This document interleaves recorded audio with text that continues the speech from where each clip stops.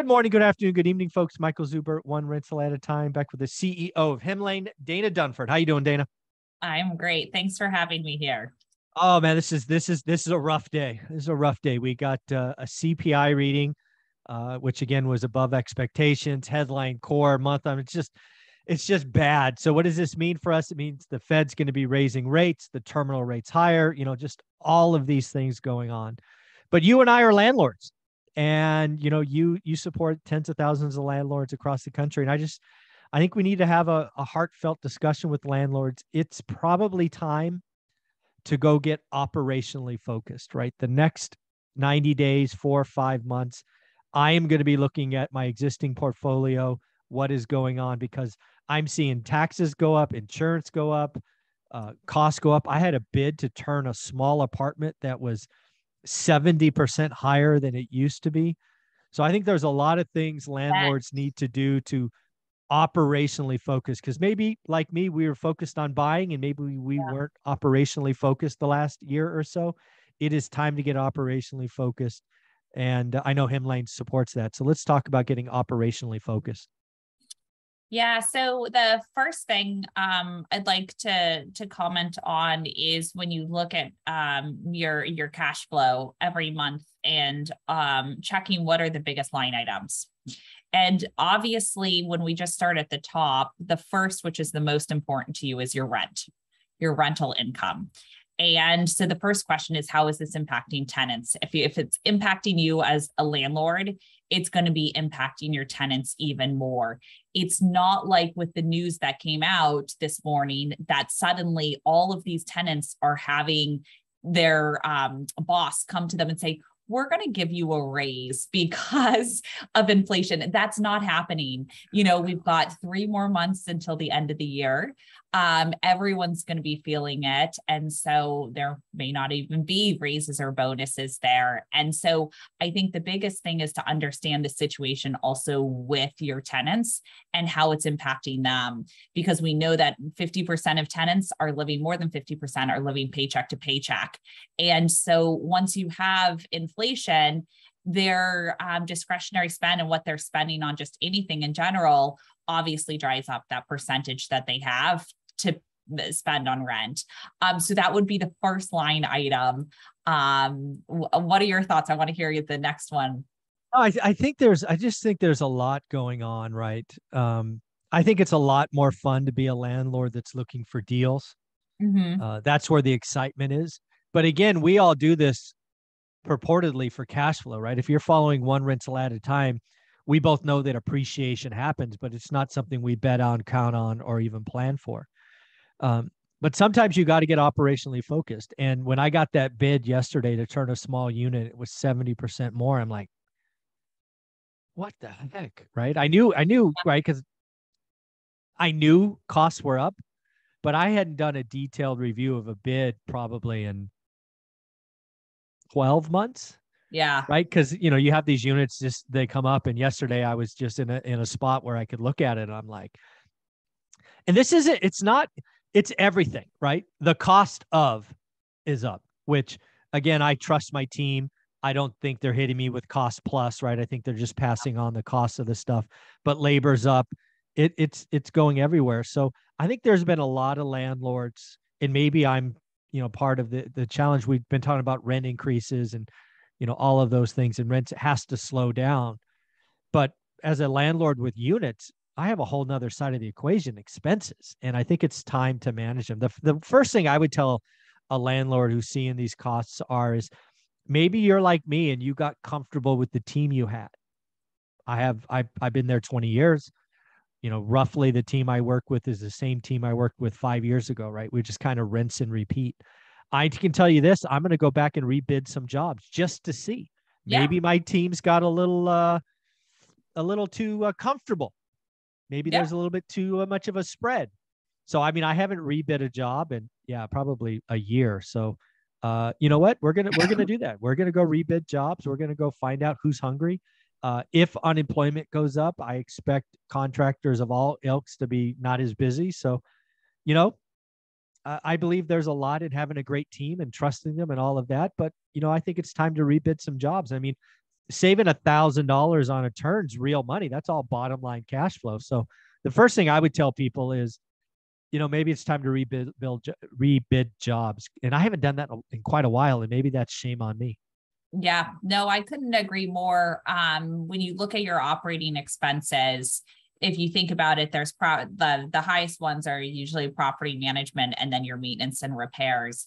And so it is time to go back out and say with those um, contractors that you're using, is this the um, best price for the quality that I can get?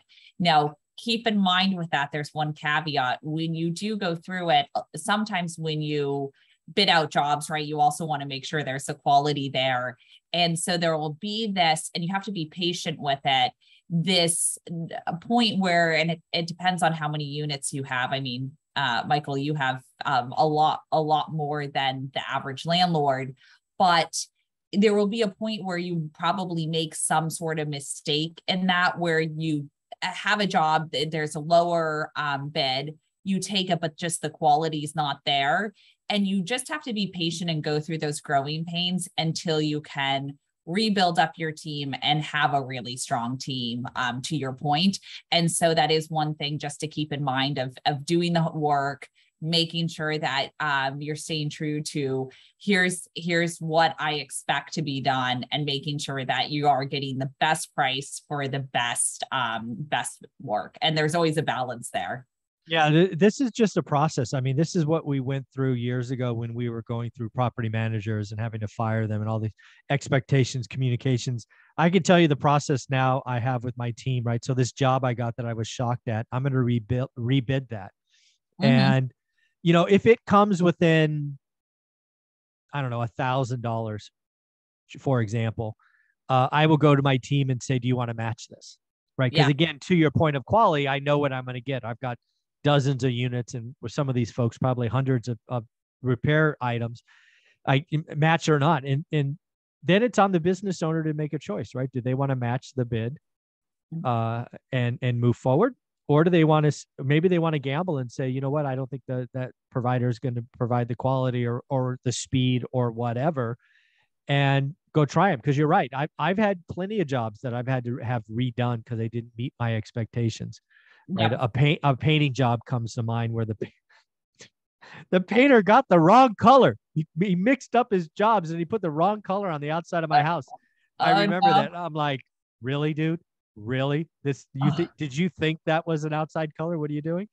But yeah, I mean, I've had to I've had mistakes and had to re- redo things. So um, there is a there is a process to do this. I would tell a landlord today to go back and look at your last, especially if you have Hemlane in, in, in the reporting, is to go back to your last year or two, take out like the top jobs, right?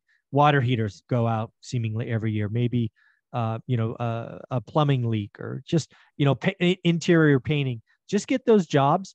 And if you don't have a work order, just get them rebid, just so you know. Yeah. Uh, as a landlord, the you know when I go back and look at my yearly expenses, it's either a roof, which are kind of one in a 20 year thing, or it's turns, right? Turns are the big thing. So if, if you have a few units like your Dion, you have whatever it is, 16 or so. Um, I actually might be proactive and get a bid to turn just to, I was, I was really shocked at the cost yesterday. I knew things were up, but I didn't expect it yeah. to be 70% up. Yeah. And then one other thing as you're operationally focused, um, you know, going back to your tenants and saying, let's go repull your credit and stuff is, is not something that tenants are going to agree to, especially if you're in in your lease right now without a renewal. But you could go back and just say, hey, I know this is hurting hurting you um news in the market and they might not be tracking inflation like you are but you know hey i know that the cost of of goods is getting more expensive um, you know, let me know. Um, I just want to do a cross check on like your income. What what are you making every single month? Um, is it really hurting you? And so having those conversations as well, because there's kind of two things that come out of it. Um, the first is, oh wow, this tenant really is cost burdened, where they're spending more than 30% of their income um, on their rent every single month. I mean, if you see that up to, you know, 60% and they don't have any help, that's like a well maybe we should actually before winter comes consider breaking some sort of lease for them, having them move um, into a different place that might be more affordable for them, and then bringing someone else in. And so that stability, I think, is really important because what you don't want costs to be going up across the board for everything for your portfolio and then a non-paying tenant uh, you know, tenants are good people for the most part. Uh, you know, mass uh, majority of them are. Um, you have a few exceptions, just like on the landlord side, mm-hmm. but most of them are good. They want to pay their rent, and so if you can open up that conversation of, "Hey, I know the market is changing. I know the cost of goods is getting more um, more expensive. How can we help to make sure this is the right situation for you?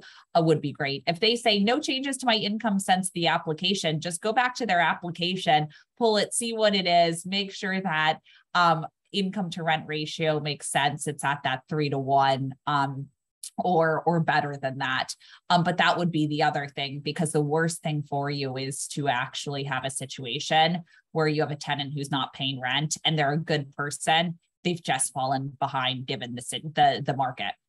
Yeah.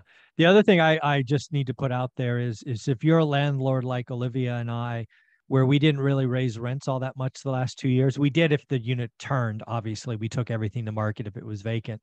But the last two years or so, we we've been in a, a fortunate position where we didn't have to raise rents to to maintain cash flow, and um, we raised a little, like two three percent, but but nothing like we could have. I have to tell you, that's that's not going to be the case this year, right? We're we're getting uh, insurance quotes that are up a bunch. We've got this. We've got all our costs going up, and we absorbed that for a little while. Uh, if you're a landlord like Olivia and I, uh, it's time to realize that um, you you you, you got to raise you got to raise rents and yeah. unfortunately it's coming and you know we've seen in in california section 8 rents jump roughly 10% year on year. So uh the the approvable amount. So I, it, there's a lot of folks that have been talking about rents exploding but there's also been a lot of mom and pop landlords who didn't raise rents or didn't take rents to where they could have. Yeah. Uh, it's it's you probably should go back and look at that. And um, you've got to cover your costs. Uh, you know you're not in the um, charity business. You've got to be able to cover yeah. your costs. You are providing a service and uh, it's unfortunate but um, you know in, just like a business right when when input costs go up uh, at a grocery store or uh, you know a candy maker or whatever it is you've got to you got to raise the cost of the finished good right and you know that's yeah. that's that's going to be the conversation I have with my team. Uh, I think we have it scheduled for Friday. Say, okay, well, we got to go back and look at our portfolio. I know we told you not to raise. Well, it's it's time to go uh, across the board and, and do some rent increases. So. Yeah, and we had um, in our our most recent survey, fifty five percent of landlords did not raise it above three percent, and yeah. so there's definitely you know and that's the the small mom and pop between like 1 to 50 units mostly on the the smaller end so there is an opportunity there um and the other thing i would say is it is a reminder that every year um, you know, when times are good and you don't have this inflation, it's very easy to just keep the rent always the same, but make sure you are doing a slight increase every year to set that expectation because mm-hmm. CPI is going up always. And so you just need to make sure you set that expectation um, and make sure on the operations side that you don't get too far behind, to your point, Michael. Yeah, one of the things that I love you've done for this community, Dana, is you put together a PDF for your free 30 day trial. Where can people get uh, the trial? And then we'll talk about what you've built for them. Yeah, you can go to Hemlane, www.hemlane, which is H E M L A N E dot com, and then click the try for free. Um, do mention um, Michael Zuber or one rental at a time. Either one works um, to get 20% off your first year. That's awesome. So what Dana has done for you, the CEO of Hemlane, she's created a PDF which you can find in our free course link below of how to use their 30 day trial. And, and I really think there's a lot of landlords that should practice being landlords.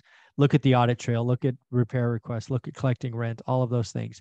And then if you are in the paid course, how to get started one rental at a time, she took the extra time to create an entire video series for you. So do yourself do yourself a favor, get the trial today and then spend the next 30 days becoming a better landlord.